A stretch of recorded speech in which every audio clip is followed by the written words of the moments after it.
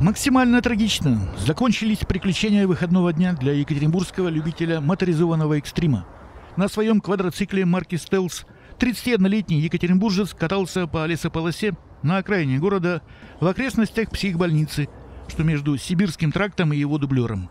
Были ли у него соответствующие права, которые на квадроцикл требуются, неизвестно, но они должны быть по закону категории А1 или М – Потому что этот агрегат только кажется простым и внешне безобидным.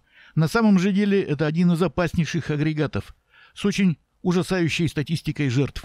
Что точно известно, так это то, что гонял человек по лесным буеракам без защитного шлема.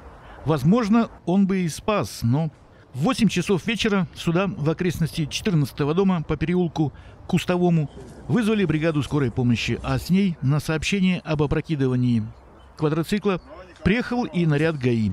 Впрочем, ни те, ни другие ситуацию уже никак не могли исправить. От полученных травм квадроциклист скончался на месте еще до прибытия медиков.